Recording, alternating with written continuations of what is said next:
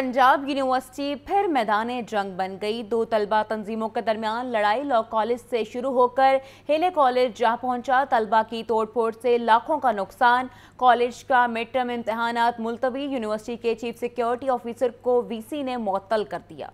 Punjab university में तलबा तंजीमों के दरमियान लड़ाई झगड़े बढ़ गए। यूनिवर्सिटी लॉ कॉलेज में तलबा तंजीमों की एक हफ़्ते पहले की लड़ाई पर जज्बात ठंडे न हुए। लॉ कॉलेज की एक तलबा तंजीम का प्रोग्राम जारी था कि दूसरे ग्रुप के तलबा ने हल्ला बोल दिया। तलबा लड़ते हुए करीबी हेले कॉलेज में घुस गए। तलबा ने हेले कॉलेज के नजीर ब्लॉक में पथराव किया और वॉशरूम्स के वॉश बेसन तोड़ डाले। तोड़ फोड़ के बाईस लाखों का नुकसान हुआ। हेले कॉलेज में जारी मिड इम्तहान भी मुलतवी हो गए। बाद पुलिस की भारी नफरी मौके आरोप पहुँची और तलबा को मुंतशिर किया। दूसरी तरफ़ vice chancellor Punjab university doctor Mohammad Ali Shah ने तसादों आरोप काबू पाने में नाकामी आरोप chief security officer colonel retired Ubaid को मुतल करके कर्नल रिटायर्ड उमर खालिद को इजाफी चार्ज दे दिया है। कैमरामैन बिलाल के साथ सजाद हुसैन, लाहौर news.